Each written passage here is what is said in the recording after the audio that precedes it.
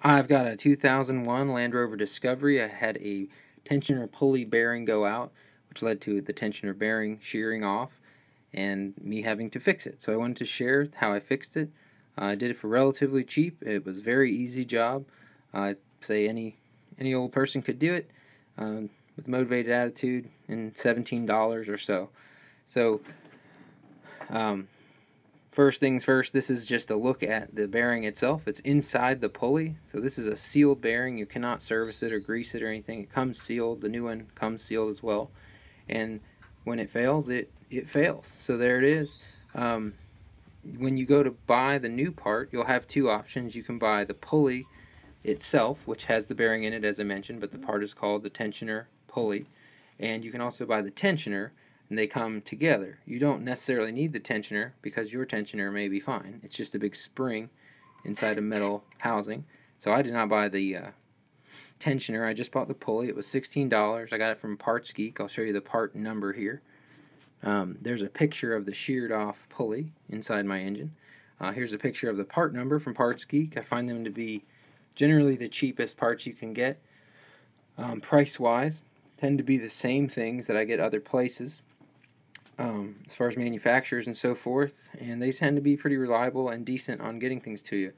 So thought I'd share that part number again. It's sixteen dollars, some change, and shipping.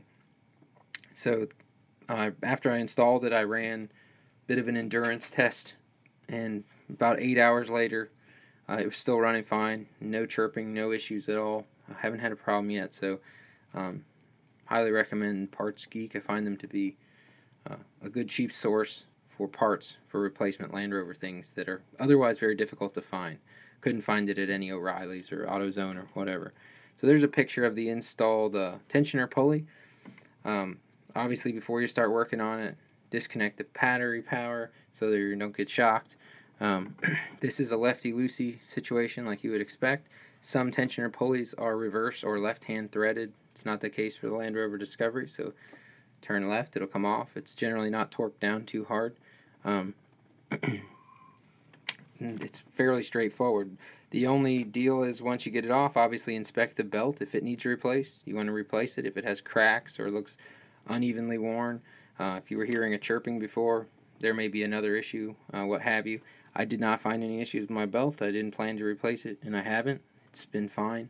Um, when you put the belt back on after you get the tensioner pulley um, seated, uh, I tend to start from the bottom and make sure the belt is inside the groove of all the auxiliary, um, you know, what have you, the water pump, the power steering pump, the alternator, and all that, and kind of work your way up to the top. You'll find the compressor and the alternator at the very top.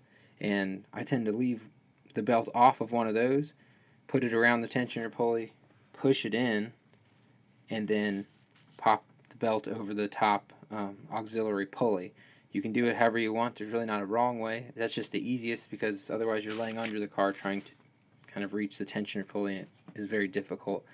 Um, once you start it up, listen for any squeaks or squalling or whatever. If you have that, you may have an issue. You shouldn't have to set the tension. There's no manual setting. It's just automatic. That little tensioner spring pulls the pulley back and gives the serpentine belt the right tension. So that's it. $16, some change.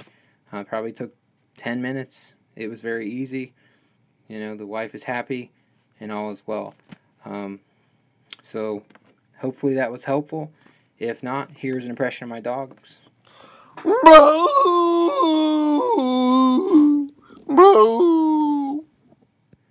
Thanks for watching. Have a good one.